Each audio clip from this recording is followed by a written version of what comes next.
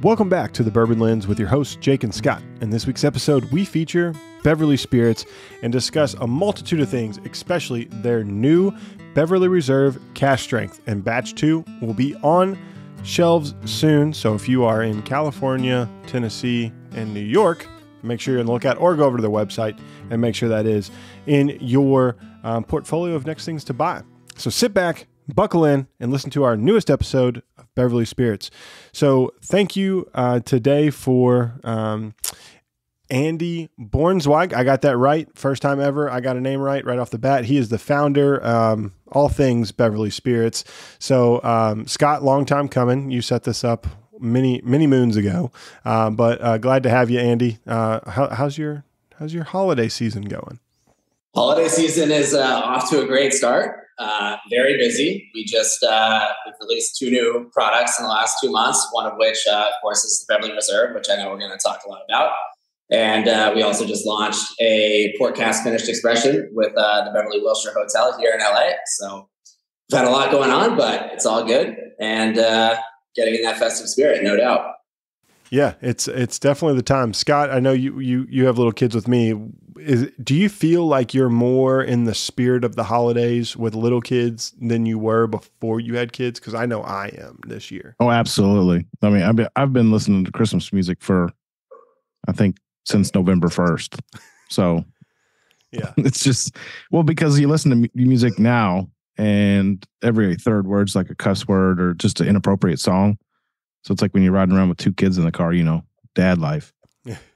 You can put on Christmas music and it's pretty safe. Yeah. You know, it's pretty safe. So yeah. I would ho- I would hope so. I would yeah. hope so. Yeah. No, as long as you don't play the controversial, it's baby, it's cold outside. You'll be uh you'll be all right. Or grandma got ran over by a reindeer, then your three and a half, four year old ass. What happened to grandma? Whatever. Uh, Andy, what what about you? You get do you get into the spirit? Do you listen to to holiday classics uh, around this time? Uh, you know what? I mean, I love I love getting into the into the spirit, but uh, yeah, I mean, I, I, certainly don't have little kids. I've got a little dog. I did get her a little uh, Santa hat slash beanie, which uh, was great for a quick photo op. Did not last on her head for as long as I would have liked because she thought the little ball on top was a toy for her to play with. So it's been uh, it's been ripped up since then, but we got the photo, and uh, yeah, I mean Beverly Hills does a great job, especially yeah. in the holidays, uh, going all out with the decorations. And you know, sometimes in LA, it's uh, it's a little bit tough to get into the festive spirit when it's 75 degrees and sunny outside every day, like it is, you know, for the rest of the year. Uh, so that does make it a little bit more challenging. But you know, that said, can't really complain about the weather. Get some cool nights, some crisp air. Uh, perfect way to enjoy a nice glass of whiskey neat. Yeah.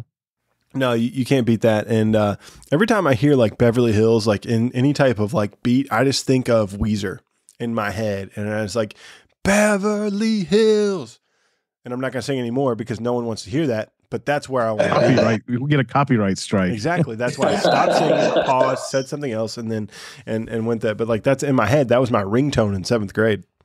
How about that uh, for a flash? Have you uh, have you been out here? I have. I have been to Beverly Hills. It is. Uh, you know, it's kind of one of those things.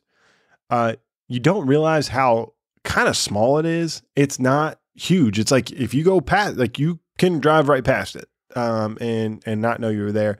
Um, I stopped, you know, did the whole walk around Rodeo Drive type thing. Um, it's cool. I'd much rather go to the tar pits. I had a lot more fun just like kind of walking around there. Uh, but it's it's definitely experience and like car looking. Just looking at the cars was more fun than anything uh, out in Beverly Hills like Lamborghini, Mercedes, like Bugatti, whatever. Boop, boop, boop, it's like there was $15 million in cars that I just walked by. It is uh, definitely a unique place from that perspective. Uh, you know, always, always interesting things and people to see. Uh, but yeah, I mean, Beverly Hills is an interesting place because you have a lot of that, and of course, you have a lot of tourists. Uh, you've got the shops on Rodeo, but there is also a really tight knit community in Beverly Hills, especially the, the you know the working the professional community, right? Definitely. Uh, and I think that's something that you know it, it's hard to get a feel for unless you, of course, like you're working in that kind of environment. But yeah, a lot of great people, and um, yeah, it's a it's an interesting place. Always uh, always something new to see and do. Yeah, that was uh we I was out there for an insurance meeting. So I I, I work in in I used to work in insurance, and so we stopped at a brokerage, um, just like uh, on the other side of Rodeo, and uh, it was just a regular ass office building, like you know nothing fancy, um, and uh, you know I think people have this image of glitz and glamour in Beverly Hills, which is, which obviously there is a ton of glitz and glamour. Don't get me wrong, um, but there's just there's just life there too, right? People are just trying to to to make a living, and uh, just like everywhere else, which is cool.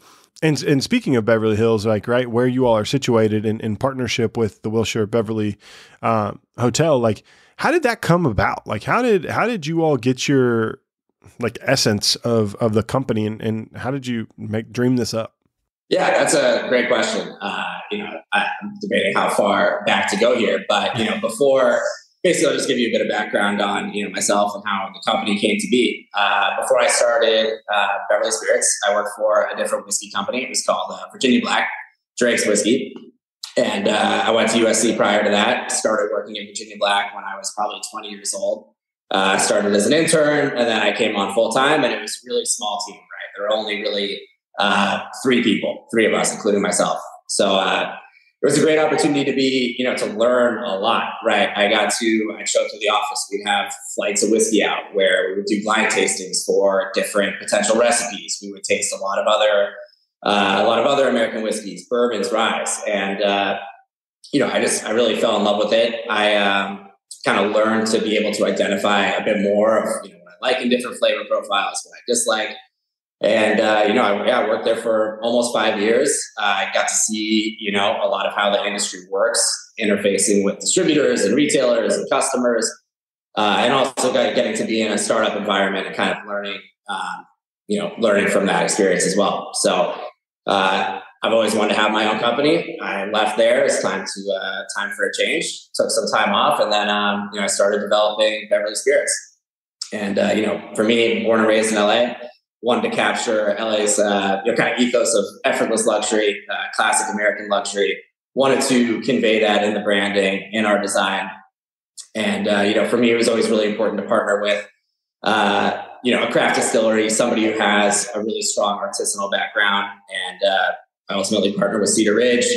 Uh, great team out there. They are really doing some awesome things, and yeah, worked with Murphy Quint to uh, had distiller Murphy Quint to make our recipes. Uh, so we launched about a year and a half ago, and as you mentioned, we've you know we had a great response with our whiskeys at a lot of high end venues, places like Beverly Wilshire, which is a Four Seasons hotel, uh, Nobu restaurants, Mastro Steakhouse, and uh, so many others. And you know, for the most part, it's it's really been a lot of me just walking in the door and getting liquid to lips, introducing people to the product, and you know, being very intentional about building real, you know, lasting uh, relationships. Uh, you know, of course, uh, the product getting a good reception and working well within their program, uh, working well with their clientele is uh, sort of the baseline, and then you know, building uh, a relationship with a personal touch is you know something that I really pride myself on. Yeah, I mean, I think whenever the original press release started to come out, I think one of the things that obviously drew me to the Beverly was the bottle. Obviously, the bottle's pretty striking, and uh, I think anybody would want to have something that looks like that on their bar. Maybe it's like a decanter or whatever.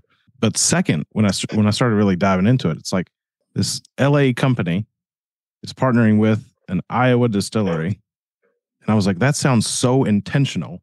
So I'm glad that we finally have this podcast because now we can hear the story of how that originates. You know, it's like it's not like you just go out and find the biggest supplier of, of whiskey and then you're just like okay let's let's partner. But it was like it sounds so intentional that you partnered with cedar ridge. 100% i think there were a couple different pieces of that. You know first at a high level you know i really wanted to approach crafting the whiskey you know from the perspective of making something unique to us right? Uh, you know, of course, you can go to MGP and MGP makes great juice, and MGP comprises about half of our blends, right? But I really wanted to make sure that we were going to put our own personal touch on it, right? And the other part was again, you know, even though I've tasted a lot of whiskeys and I've learned about it, I hadn't necessarily worked with my hands to create blends myself, right? So I really wanted to forge a partnership with somebody who does have that background and work with them to really bring the vision to life. And you know, I've been I've been very fortunate because Murphy and uh, the whole team at Cedar Ridge have been the perfect people to make that happen. And uh, yeah, I mean, you know, I I first visited Cedar Ridge November 2020. Uh, so, you know, in the midst of, midst of COVID. And uh, it was a great experience for a whole variety of reasons. I mean, for one, everything in LA was shut down. You know, restaurants were closed. Everyone's masked up. You go to Iowa and it's, you know, we're, we're eating indoors right after getting off the plane. And uh, trust me, that was a very welcome experience uh, for me. But uh, no, I mean, the thing that struck me the most was just the sense of passion and joy that goes into what they do. Every single person I met seemed to be so genuinely happy and prideful, uh, and seemed to really believe in uh, and feel a sense of ownership in what they're what they're building out there. Uh, so I've been I've been super impressed, and yeah, they've they've really been an integral an integral part of bringing uh, bringing our whiskey to life. Yeah, no, that's pretty awesome. So it sounds like Escape from LA was what what happened in November 2020, right? pretty much, pretty much. The the great thing is, what was your favorite thing to do in the cornfields of Iowa? Uh, you know, I mean, I primarily hung out at Cedar Ridge. Uh, you know, Cedar Ridge, I want to say, is about 15 minutes outside of uh, Cedar Rapids in Swisher. But I was impressed with Cedar Rapids. It's a cool town, a handful of great restaurants that we ate at. Uh, you know, I mean, it's always a pleasure to have dinner with Jamie Siefkin, who's the GM, or Murphy, or Jeff, the founder. So, uh, no, every time I go out there, it's been a great time. I'm due for a trip in January. It's probably going to be the coldest time of year that I've been there. So, uh, you know, I was joking with that. I'm going to have to dig real deep into my closet to uh, make sure that I don't freeze out there. But I think with the proper amount of cask strength whiskey, we should be we should be yeah yeah it's uh it's wild how how cold it is on the the frozen tundra of Iowa, which people don't realize because it's just so flat and it just will smack you right in the face. Not a place I would say I, I have a, a burning burning love to go visit multiple times in a year. It's funny. I mean, you know, I think they one of the things that they appreciated about me is, you know, my willingness to, you know, leave LA and go travel. And I mean, I genuinely, I genuinely enjoy it. And not only because we're gonna, you know, rip barrels open and try different recipes and all the fun stuff, but uh, you know, I, I genuinely they're they're such great people. Uh, and that really draws me to it as well. I mean, half of my family's from Ohio, uh, granted, not Iowa, but definitely has that Midwestern sensibility, right? So that's something that's uh, you know familiar to me and something that I really appreciate and uh, enjoy. Yeah, no, I, I, think that's that's pretty cool. And so you know, right? You, you you're one of this pandi- one of these pandemic companies, right? That is creating a name for yourself. Talk to us a little bit about the struggles and the the leverage you had also in that because I think so many times we look at at the pandemic as, oh man, it was just so hard, but also people were adapting in a different way. So what, what were some some some challenges you ran into starting the business, and then ultimately some of the successes you had because everything went so digital and was able to kind of push it out a different way? hundred percent. Yeah. I mean, you know, I would say first off, I started developing this, you know, around June 2020. So, you know, a few months after COVID really started to break out. And, you know, one of the advantages, you know, uh, always putting that in context, but one of the advantages was that things really slowed down, right? There was a little bit more room to have, you know, developmental conversations, talk to Cedar Ridge about what our partnership structure is going to look like, take our time to really develop this thing in the right way. Uh, and, you know, I think that was a big advantage uh, for us. You know, there were a lot of challenges as well, right? Especially on the production side. You know, blending the whiskey was one part of it and reaching, you know, kind of the final recipe. And that was all, you know, that's the fun part, right? But making the custom bottle was a, a, big challenge in the middle of the pandemic, right? I mean, you'd have factories uh, closing without notice for three months at a time, and uh, you know, it, it, was that that was that was probably the hardest part about it, to be honest. Uh, I mean, I wouldn't go, I wouldn't change it for the world. Uh, very proud of the the bottle that we made, and you know, our goal the whole time is really to make something that is distinctive, that brings you know a nice touch of luxury to the category, but also feels timeless and uh, you know respectful of what the category is and the tradition of the category. Uh, so yeah, that that was that was the primary challenge. And you know, I mean, the timing. We launched May 2022. By that time, at least restaurants, um, you know, the entree had started to open up a little bit more, which definitely was, you know, I think kind of a prerequisite to where we are today because you know our we've we've been fortunate to do really well in those high end uh, restaurants, hotels, uh, places of that sort. And uh, we were able to really get in right at the time that that was picking back up. Mm. Yeah, so timing was was was vital to you. One of the things that's really interesting, and Scott, you've talked about how pretty the bottle is. I, I second that. You know, molds only last for so long, right? And it, it, can be a very expensive process. To, so, did you go to Mexico to create that, or did you go to Italy? Like, where did where were you getting your glass from? We actually work with a Canadian company who is uh, they're essentially an, an agency, right? And they have a network of different suppliers. We are getting it over in Asia, and um, you know, I mean, at the end of the day, the glass is great. Uh, but yeah, I mean, it certainly was challenging to to get it done in the right way. But after you know, after putting in that hard work of making sure that the mold is perfect and everything uh, is up to the level of quality that we were looking for, it's been it's been um, it's been pretty seamless since then. Mm, nice.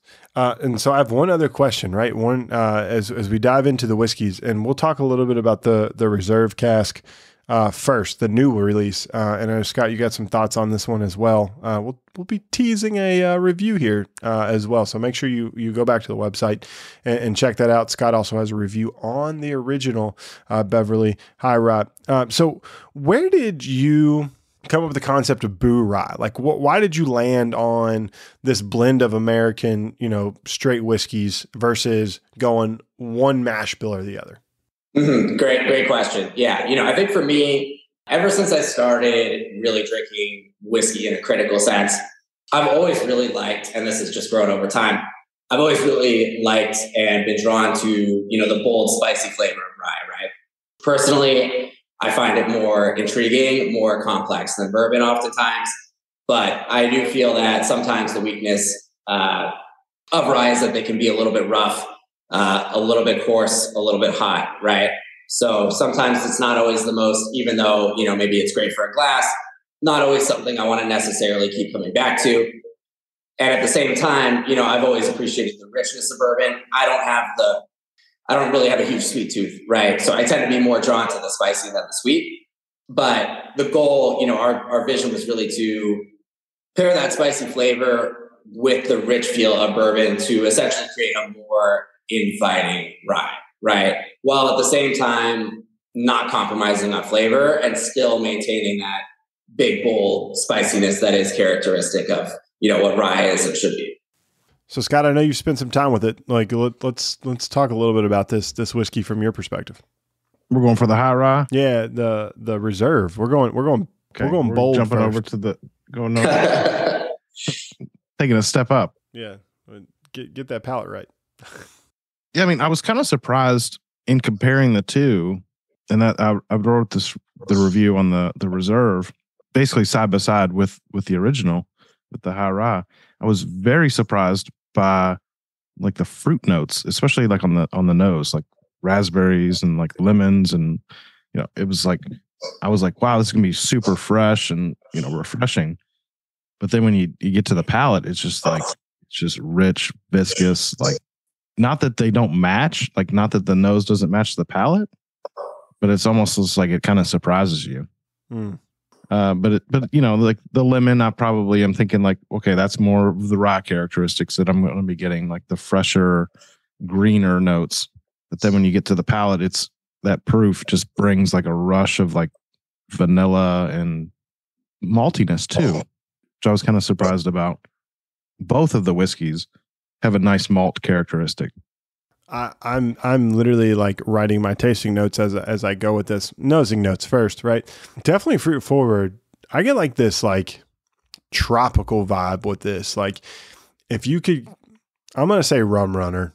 Probably not the best way to go, but like peach, a little bit of coconut, caramel, vanilla.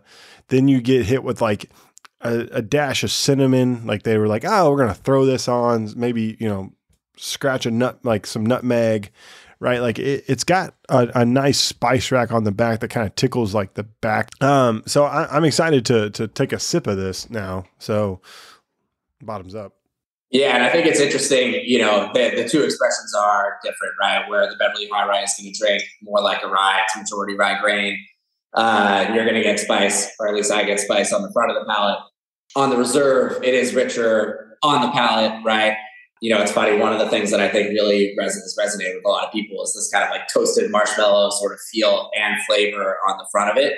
Uh, and then you do get that spice on the finish. So it's almost a bit of an inverse experience from the original. Definitely get that cinnamon, that nutmeg. Yeah. Adds a nice bit of complexity. But yeah, I mean, that fluffiness of the reserve is something that is, uh, you know, that's really what captivated us about the blend in the first place. And uh, kind of what you know, inspired us to set it aside and do this, you know, future special release with it. It's interesting that you said fluffiness because one of my tasting notes was vanilla and cake donuts. Mm. Like it, it, I think it's I think the the best thing about this whiskey is is definitely the mouthfeel. Like it's just it stays with you. It's just like it makes you want to take another drink, like figure it out. Like even if you don't pull out all these little tasting notes, yeah. it's just like it's just an enjoyable whiskey to drink.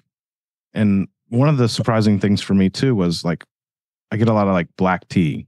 That I, I was I, maybe, maybe, that's like a spice component. It is. So I, I the tea note is what's like lingering on my palate, like that herbal tea, like with like a it's they squeezed a little lemon or there's some type of citrus that lingers with it, but like Christmas nuts, like like cinnamon sugar, nutty, vanilla, graham cracker, like almost almond or uh, macadamia, like candy pecans, perhaps. Yeah, like that. Like it's a it's a mild nut, right? Like that that you're you're having with some some of that sugar like goodness over that you you're like, oh, these are healthy. I'm eating I'm eating some type of nuts, and you're like, that ain't that ain't healthy for you, bud. Um, uh, so yeah, close but not quite. Yeah, but like the the what's really nice is the so you you talked about the mouthfeel, Scott. Like how much it lingers on your palate, like that that tea citrus vibe, like chills out on the palate for I don't know. I'm a minute into the first sip and it's still just like lingering there. So I think finish is an underrated thing. I think a lot of times people are like, "Oh, the Kentucky hug." Like, okay, gotcha. Like that's not what a finish is. Like, how long does it linger on your palate? Like, is it is it making you want more? This is a, a drink that that could make you want more, and it's it's seventy nine ninety nine. Is that the the price for the reserve? That's correct. Okay, and one hundred and sixteen proof, right? I don't think we mentioned that, but one sixteen. One hundred sixteen proof. So surely doesn't drink like one hundred sixteen. No, I would say more in the in the like mid one hundreds. You know, yeah, after your fourth or fifth to, one. jump in, I mean, when we you know, we, we came across this blend when we were developing the original recipe for the Beverly High Rye, right? So we would always, you know, we'd always start tasting our prospective recipes at cask strength, uh, sort of narrow it down from there, and uh, then taste them. You know, we always wanted the original to be between 95 and 100 proof, right? And it came out at 96 proof. Uh, but in the process of doing so, when we tasted this blend, Murphy and I, you know, our eyes just lit up and we were just blown away by how inviting and uh, you know how enjoyable to drink. This blend is at 116 proof and and really you know almost have a hard having a hard time believing that right? Uh, you know it's smooth but again it's still got that nice full body to it. And it's just got you know it's got the right amount of complexity while still just having such a such a nice constant richness as well that really does linger. Yeah. Yeah. And so you, you mentioned you're in a lot of high end bars, right? Uh, and and restaurants, um, and and hotels. How how have people adapted your whiskey into a cocktail program? Do they find it to be price affordable? Is it price prohibitive? Like, what kind of feedback have you gotten there? Because obviously, cocktail culture as uh, is huge. Your bottle would be perfect for a bar back, tall, long neck. Uh, it's pretty, could be well backlit, and, and, could be like, hey, I want that in my old fashioned, right, or whatever. What what's been the cocktail reception to either of these whiskeys? Yeah, I mean, we've had a lot of success using it in cocktails. Um, of course, it's a whiskey I love to sip neat, sip on the rocks, but uh, we also love to embrace a bit of creativity and let it shine in you know unique ways typically, you know, we've had the most success with plays on classics, uh, different takes on old fashions, uh, Manhattans, things like that. You know, I think the reserve especially starts to get into a place where it is, you know, it, it gets pricey to put in a cocktail, right? Uh, we're doing one cocktail right now at Nobu Los Angeles. It's a barrel aged Boulevardier using the reserve. And that is incredibly special. Uh, they can either serve it on a big cube, as you would typically have a Boulevardier, or they can, uh, this is a really creative twist on it, but turn it into a whiskey sour. So they'll take the barrel aged Boulevardier, add just a, a, dose of lemon, add some egg white, gives it a little bit of fluffiness, and it's uh, it's really really special and really interesting. Hmm. Interesting. That that's uh, I, I you know, funny enough, I say my wife doesn't like whiskey all the time, but we had this conversation the other day. She loves a whiskey sour. Um, and so it's like, I feel like I just need to start like dosing her with whiskey sours, or I need to learn how to make one. That's going to be a far stretch of the imagination. But I have a ton of egg whites from Costco that are are are are in the in the need of being able to create cocktails this holiday season because no one needs six canisters of egg whites. Unless they're drinking a lot of whiskey sours. Yeah. Yeah. Uh, whiskey which, sour party at your house. Yeah. No shit. Uh, uh, we won't be using Beverly High Rye. We'll be using some some worse liquid. But um, uh, you know, I, I, think it's cool. Like the cocktail, the scene and vibe is is interesting. And you, you talked about Nobu. Like, you know, I think people know that restaurant really well, and it, it's cocktail culture is so unique and so interesting. I just wish I was good at it. I really wish I was good at it. Or I wish I had time to do it. Let's let's take this back. I wish I had time to be in cocktail culture. Scott, you ever wish you you had time to be in the cocktail culture? You, you fat washed some some whiskey. You you are fancy. Yeah, no, I don't really mess with cocktails too much, just on occasion. But fat washing a bourbon, I highly recommend it, especially if you. What kind of uh, what kind of wash did you do? So it was bacon. Bacon. Okay. Yeah. So I literally saw it on, I think it was Aaron Goldfarb's. Uh, he did an article on fat washing, and I was like, I'm just going to try this. Just just made some some killer bacon. I was like, this bacon fat, I'm not going to let it go to waste. And I was like, let's do this. And uh, it turned out incredible. And like made an old fashioned with it. It was incredible. Even just like neat or on a rock, it was it was wild. Yeah, I, I, was curious because uh, we did one. Uh, it was a duck fat wash at a restaurant called Etta here in uh, Culver City, and uh, it's it was really special. I mean, the savory kind of touch to it was very uh, very unexpected, right? And also, I mean, taking you know we already have that nice mouthfeel, right? But adding the duck fat wash really just made it even more round. And it was just, uh, it was great to sit and eat, just like you said, or uh, in an old fashioned, it was great too. Yeah. Yeah. I mean, I'll do that again. I don't, I don't really know. Cause it's like, I used a pretty decent whiskey. It was, it was RD1, but it was uh, their maple cask. So that's what I was thinking. I was like, babe, bacon, maple, you know, that those are two. You were thinking, you were thinking brunch vibes. You were like, how can I get drunk on a, on a Saturday afternoon? Yeah, it was a three martini lunch, right? Uh, uh, oh man. Um, so obviously we've talked about the present. Let's talk about uh, the intermediate, right? We've talked about how the business got started, but there was this this this whiskey that was first released in the Beverly High Rye, right? So that was your your first release, and you know when did you have that aha moment in that release to say, "Hey, this we got something. We can really kind of push." Forward to to make a line extension uh, and create um, more buzz in the marketplace and, and expand your footprint uh, from a, a, sales perspective? Yeah, that's a great question. I think it it, was probably a combination of a, a few things. Uh, you know, we pretty early on into our launch, you know, we won a gold medal at the San Francisco World Spirits Competition. Followed that up with a gold medal at the New York World Spirits Competition. In addition to that, you know, we were seeing some good press come through, getting some great reviews coming in and uh, you know just seeing traction at with a lot of our partners right? So you know these were all really encouraging signs uh, especially for being such a such a young brand with a new product right?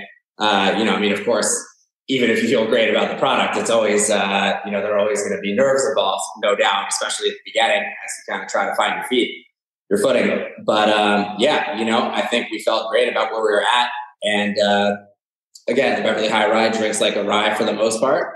We had this blend set aside that we just really absolutely loved. And I mean, even from the time that we tasted the blend that became uh, the Beverly Reserve, you know, we we saved those specs, right? We knew that we were going to use it, and uh, you know, for us, that it's nice to have that complementary component in the, the portfolio where you know it drinks more like a bourbon essentially. So it's essentially going to be our bourbon style offering, and you know they've they've worked sort of great in tandem so far. One thing I'd like to say, admirably, you know, you you are you are positioning this as like a luxury brand, a luxury whiskey. But when you look at the price, like in today's market, it's not that ultra premium price point, which is the scary part. Like if you if I saw this bottle on the shelf, I'd think it would be a hundred plus dollars. But I mean, it's sixty bucks, and I think that was what I think that was what my original review from what I think I had to look it up. It's on Instagram uh, originally, but it was from. I think the quote was uh, "worthy of the fancy packaging," and I remember that because it's one still one of my favorite quotes. yeah, but it's like it's sixty bucks, and it's like there's a lot of thought that went into this, and it's sixty bucks. The packaging is like hundred dollar packaging, and in today's world, people are just inching towards hundred dollar price points no matter what.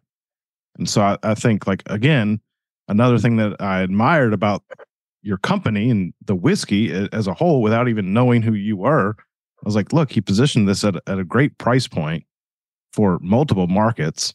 I mean, I don't know what shit cost in in LA. I'm sure it's just astronomical for most things, but 60 bucks. I'm like, most people will take a take a chance on a $60 whiskey. And I think in this case, they're going to be pleasantly surprised about how flavorful it is. Stagg Junior on most uh, bar, like not bars, on uh, like the shelves. You can find it here, relatively reasonable. There, the ch- lowest I found Stagg Junior, four hundred and fifty dollars. Lowest I found Buffalo Trace was one hundred and sixty. So, L.A. ain't cheap, people. L.A. ain't cheap. They'll get you. It is not cheap. It is not cheap, and it goes both ways, right? Where you know you asked about price sensitivity with the cocktails. You know, on the one hand, if we're in Beverly Hills, you know, price sensitivity is not really an issue, right? Uh, but if you start to go outside to different, even part different parts of LA, right, it's to be it's to be a different story. Uh, I mean, in Beverly Hills at this point, you know, and you probably extend this to West Hollywood and Santa Monica as well. Average price of a cocktail is probably twenty two to twenty four dollars at this point, which is wild. And uh, you know, in the last few years, things have just gotten so expensive across the board. But I appreciate, you know, I appreciate your comments on the positioning. And again, you know, my goal is really to create, you know, going back to this inviting profile, right? Uh, to be able to create and offer something that can be the daily drinker, you know, the bottle that you have on your back bar that you actually want to open and keep keep pouring out of, right? Uh, and that that was really our goal, and we felt like this was the the best price point to still, you know, of course, keep it high end, but make it mm-hmm. accessible at the same time. Yeah, well, I think I think you get a lot of value, and I admire that about whiskey brands that that position themselves in that way. Well, thank you very much. Sorry, I was over here typing up uh, my tasting notes uh, because I saw Scott uh, was already had this review set up. I was like, well, I'm not being left out of this review that's going to be posted online. So ultimately, you have your line extension. You're you're two years in, right at the turn of the uh, month here. What's next? That's a great question. You know, the reserve is still very new. Uh, we just released that in October. Uh, I'm very focused on, you know, continuing to get these expressions uh, in front of people, right? Getting people to taste them. Uh, I spend a lot of time doing in-store tastings and going around and, you know, introducing people to to the products, right? I mean, it's been, yeah, about a year and a half at this point uh, and we're still very young. So the most important thing always for me is to you know build meaningful relationships with our partners or customers, and uh, key part of that is getting people to taste it. Right. So these you know the idea for now is these two expressions will really form our core portfolio for the time being. Uh, as I mentioned, we did this exclusive expression with the Beverly Reserve. That's going to be uh, essentially the Beverly High Rye finished in ruby port casks for about five months and uh, you know that was a really special project as well. So you know we'll we'll hope to keep that going and see what other sort of you know creative special projects come about. But uh, you know my goal for at least the next year or so is really build the Beverly Reserve, build the Beverly High Rye, and uh, get people drinking it, get people excited about it. So, do you have uh, expansion plans for um, in market or on premise uh, opportunities? Are you still kind of just we're in three places. We're we're a small company. you're probably hoofing most of it yourself. Um, with the with that is correct. that is definitely correct. So, are, are you a one man show? Uh, uh, essentially, I mean, you know, of course, I have this part of the, part, the partnership with Cedar Ridge, and uh, they're awesome on the production side. But yeah, I mean, as far as you know, building the company, that's uh, that's that's largely that's largely me. Uh, you know, I have different partners who help me with you know marketing, things like that, PR here and there. But generally speaking, it's it's me in the field. It's me educating bar teams, uh, doing in store tastings, and fortunately, I love it because uh, it's uh, it's a grind, and there are always you know more places to be, more people to taste. But you know, for now, yeah, we're we're in California, Tennessee, and New York, and uh, the idea is to really build our relationships in these places before we start to think about you know expanding too quickly, uh, and really just make sure that we're we're getting people excited about the product in these markets and building things the right way. Mm. Yeah, that makes sense. I was going to say, uh, Andy popped into our email and said, "Hey, let's do a damn podcast. It's about time." And uh, so that's all. It's him. hey, hey, hey, look, when when we say people go to work, Andy goes to work. Like he he's he's he's bootstrapping this, and so I I mean I appreciate that. Like I, I can tell that you're passionate about it, and and like you're gonna try to do everything that you can to make it succeed. And that's that's really cool um, because it's part of the American dream, right? Like this is this is it, and you're doing it with Americans America's native spirit.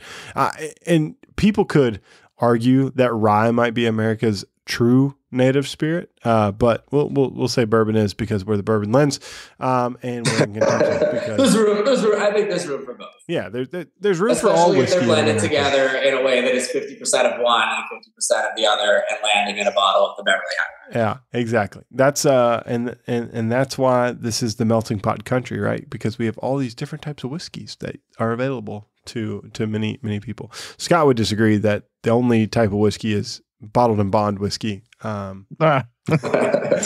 I'm not a curmudgeon anymore. Oh, don't don't let him fool you guys. He's not changed that much. Can't teach an old dog new tricks. So, Andy, we we got to give you we got to give you a promo spot here. Like we can't just invite you on, talk and banter and all that fun stuff, and not allow you to tell people more about Beverly Spirits from where they can find you, how they can connect with you, how they can talk to you, probably, um, and, and all that uh, as we we kind of wrap up um, this this first episode, right? We love to have brands back, and, and we definitely know that you'll you'll be back on in the future when, with with more more stuff and more stories. So, uh, as we put a bow on this, tell tell everyone where they can find out more about Beverly Spirits. hundred uh, percent. You can visit our website, beverlyhighrye.com. We do ship both expressions to 43 states, uh, which are going to be listed on the website. Uh, please follow us on Instagram at Beverly High Rye. And uh, yeah, I always love to hear from people, customers, or you know anyone who's just interested in talking whiskey. And uh, yeah, shoot, shoot me an email, Andy at BeverlyHighRye.com. And that's where you can find us. Uh, it's absolutely great to be on it. I hope this is uh, just the first time and not the last time. Oh, yeah, uh, absolutely. You, you keep putting out that beautiful packaging, uh, and uh, uh, people people will be enamored. It's it's kind of like Bush's baked beans. Roll that beautiful bean footage. You can just say roll that beautiful bottle footage, and, and people get excited. Uh, Hundred percent. And and, and look, Peyton Manning loves a saucy sheriff. You just need to find him to find a way to engage him. He, he's a great PR person. what did you say? Peyton, oh, come on! You you y'all have never seen the Bush's baked beans commercial with Peyton Manning? He there's three things of of baked beans out, and uh, the last one is the saucy sheriff. It's literally like a hot dog covered in baked beans. It's a terrible idea. Don't do it. um, uh, but just just drink good whiskey instead. Exactly. Uh, next thing you know, we'll, I'm on. I'm on board with that. I second that. Well, well. next thing you know, Scott, we did pizza and, and, and bourbon. Now we can do pizza and back, or we can do bourbon and backyard pairings. That would be a good mm. one. Ah. Barbecue pairings. Eh, not a huge barbecue fan, but burgers, hot dogs, chicken breast. We can figure it out. Anywho, Andy, thank you so much for joining this episode. We we truly appreciate it. And and excited for the future of, of Beverly Spirits and, and and really appreciate you having the time to, to come and join Scott and I. So as everyone, thank you all for listening to this episode of the Bourbon Lens. And cheers. Cheers. Cheers. Thank you so much. It's great to be with you. Yep.